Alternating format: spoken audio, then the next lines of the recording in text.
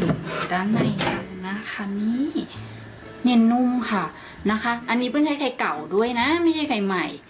นะคะทำไม่ยากค่ะ แต่ก่อนจะไปชมวิดีโอนะคะ อย่าลืมกดไลค์กดแชร์กด subscribe ให้เปิ้ลด้วยนะคะ จะได้ไม่พลาดวิดีโอใหม่ๆค่ะ เดี๋ยวเราไปชมวิธีทำกันเลยค่ะ แม่บ้านตุรกีสวัสดีค่ะ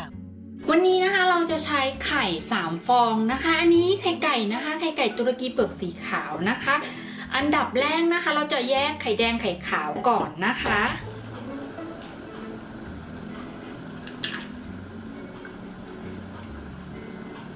ไข่ไม่ค่อยสดนะคะ จะเห็นว่าไข่แดงเนี่ยแบนใช่ไหมแล้วก็ไข่ขาวจะเป็นน้ำน้ำๆนะคะ เพราะว่าไข่ไม่ค่อยสดจะเห็นว่าไข่ขาวไม่ค่อยเป็นบุญ ไข่ขาวออกน้ำน้ำนะคะวอร์มเตาเอาไว้เลยนะคะ 160 องศานะ ไฟบนล่างไม่พัดลมนะคะนะคะ เราแยกไข่แดงไข่ขาวเรียบร้อยแล้ว เดี๋ยวเรามาทำในส่วนของไข่แดงกันค่ะต้องใส่น้ำมันพืชนะคะลงไป ตามด้วยนมค่ะอุณหภูมิห้องนะคะนม ต้นใส่เกลือในส่วนนี้เลยนะคะ นิดนึ่ง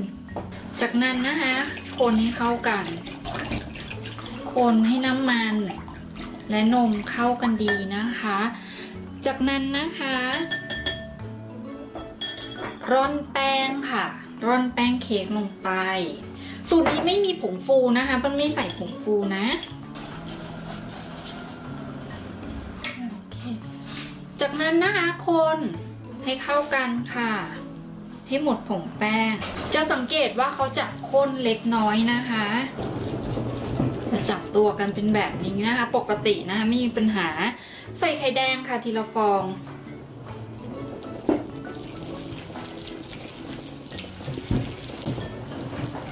ฟองที่สองค่ะ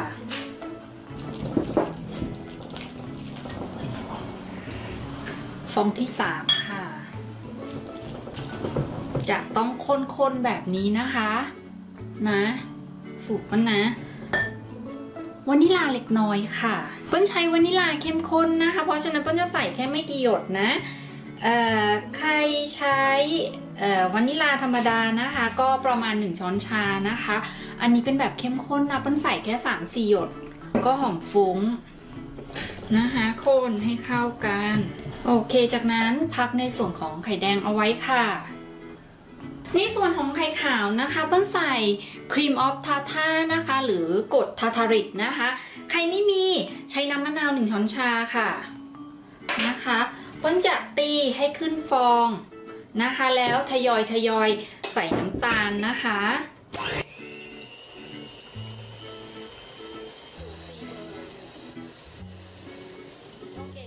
พอขึ้นฟองหยาบแบบน้ำยาล้างจานแล้วนะคะใส่น้ำตาลลงไป ส่วนหนึ่ง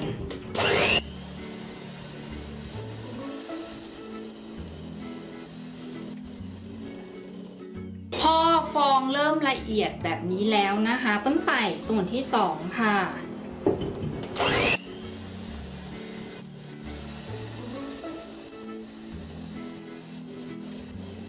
พอเริ่มไม่เห็นเป็นเม็ด ฟองแล้วนะคะ ประมาณเหมือนมูสแล้วนะคะเปิ้ลใส่น้ำตาลรอบสุดท้ายค่ะทั้งหมดเลยตีค่ะ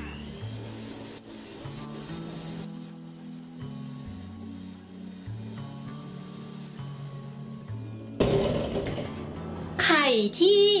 เป็นไข่เก่านะคะ วิธีแก้ไข่เก่าน้ำเขาจะเยอะนะคะเปิ้ลใส่แป้งข้าวโพดค่ะหนึ่งช้อนโต๊ะค่ะ ตีค่ะ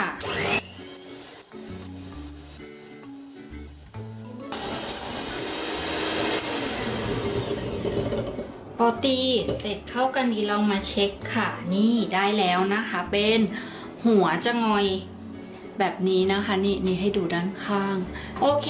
ใช้ได้แล้วเดี๋ยวเปิ้ลจะตีอีกสักประมาณ 30 วินาทีนะคะ ให้เขาแข็งแรงอีกนิดนึงนะคะ ตีเวลาตีให้ดูว่ามือแรงเราอะเงาสวย นี่ประมาณนี้นี่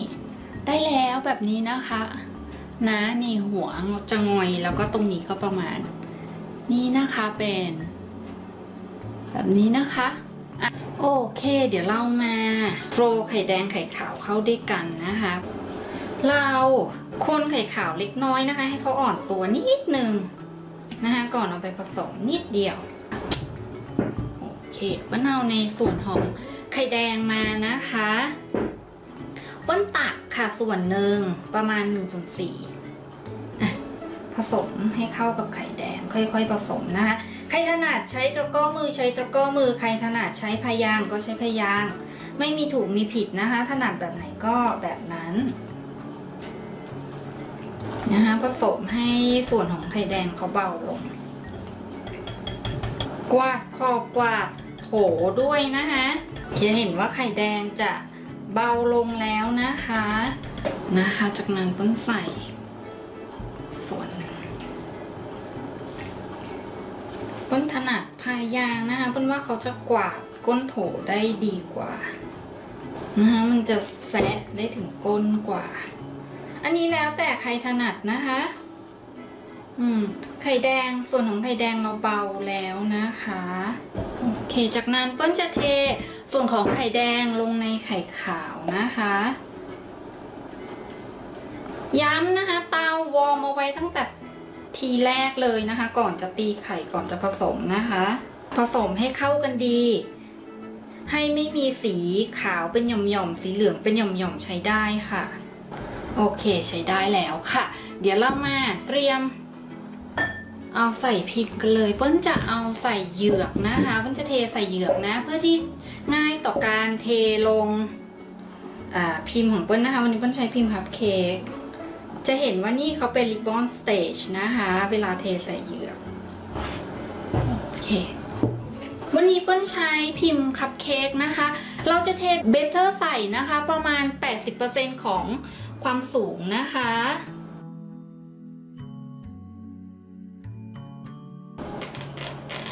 ใช้ไม้แหลมนะคะ คน